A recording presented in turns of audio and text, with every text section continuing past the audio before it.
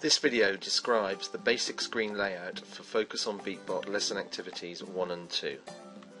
The navigation panel is a set of clickable buttons very similar to those found on the actual Bee-Bot itself.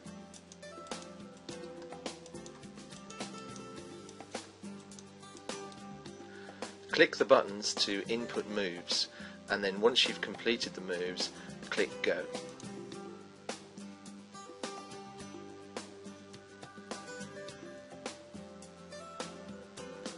Return Bee-Bot to the home square by clicking the Home button.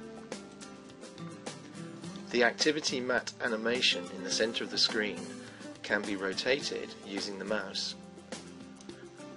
and it is possible to zoom in and zoom out using the zoom buttons or the scroll wheel on the mouse. Each Bee-Bot program comes with 8 activity mats. Load the Bee-Bot mats by clicking the index on the right hand side of the screen.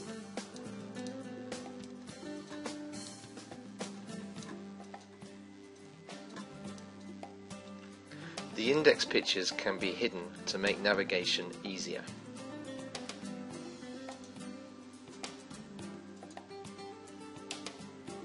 Simply click on the words to load the activity mats.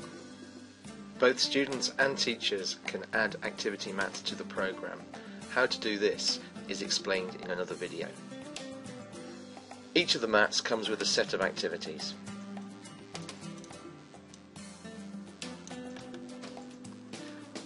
Click the blue button to begin each activity.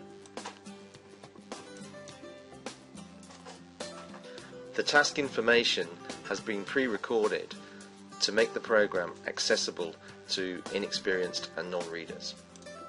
Beebot needs fruit and vegetables from the grocers and to go to school. To complete the activity, the user must input a series of moves into the navigation panel. This can be done in one go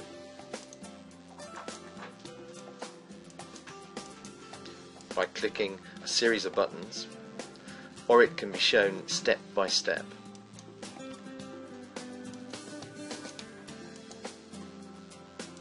This makes it easier for younger children.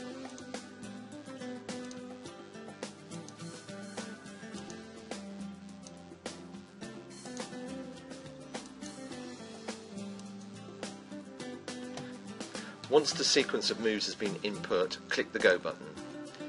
If the sequence is correct, a well done sign will come up on the screen and the score is recorded at the top of the screen.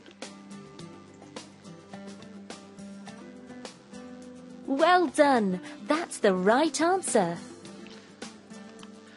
If evidence is needed to show that the task has been completed, click the print button. This will show the mat, the information to go with the activity and the sequence of moves. This sequence can then be input into the actual Bee-Bot itself and tested on the mat. Users can save all of this information by clicking the Save button